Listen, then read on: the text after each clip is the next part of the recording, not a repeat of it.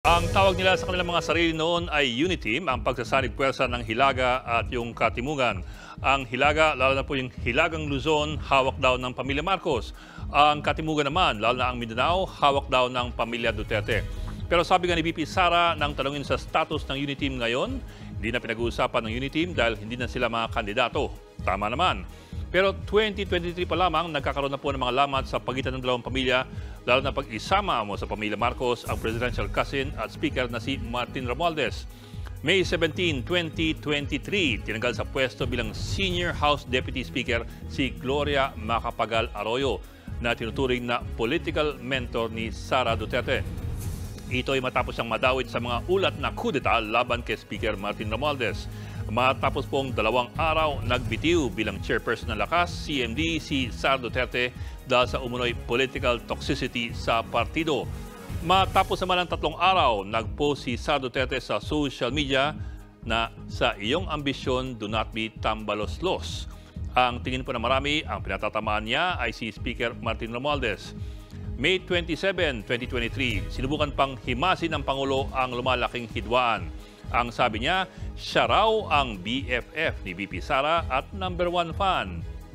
Pero bago matapos ang taon, may panibagong kiskisan.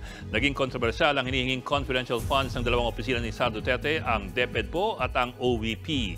Sa huli, matapos ang matinding bangayan, tinanggal ng Kongreso ang confidential funds ni VP Duterte.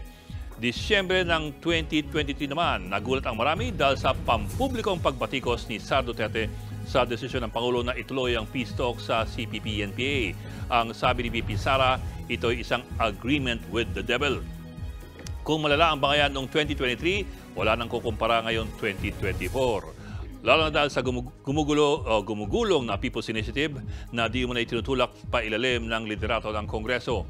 Sa isang kontrobersyal na prayer rally sa Davao City noong Enero, pinanatan ni dating Pangulong Duterte si PBBM at sinabing ayaw niyang bumaba sa pwesto gaya raw ng kanyang ama.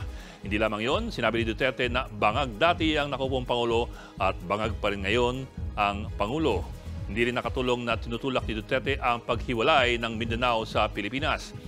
May sariling pambawi naman ng Pangulo sa dating Pangulo. Baka naman daw epekto lamang ito sa kanya ng paggamit ng fentanyl.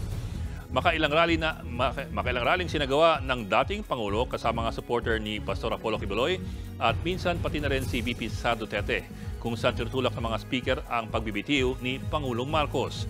Marso at 13, 2024, inamin ni First Lady Liza Marcos Arneta o Liza Arneta Marcos na masama ang loob niya kay VP Sara Duterte. Hindi lang daw ito umaattend ng mga rally laban sa kanyang asawang Pangulo pero nakikitawa pa ito pag binabakbakan ang Pangulo. Abril itong taon, inamin ni Pangulong Marcos na naging komplikado na ang relasyon ng kanyang pamilya at ng pamilya Duterte. Matagal na raw basag ang unit team. Pero sa nakarang anim na buwan, talagang nagbabasagan na ng bungo ang mga miyembro ng dating nangangampanya sa ngalan ng Unity. Mga kapatid, may Anlos Baños po. Huwag magpahuli sa mga balita at impormasyong dapat ninyong malaman. Para sa mas malawak na balitaan at diskusyon, mag-follow at mag-subscribe sa social media pages ng News 5.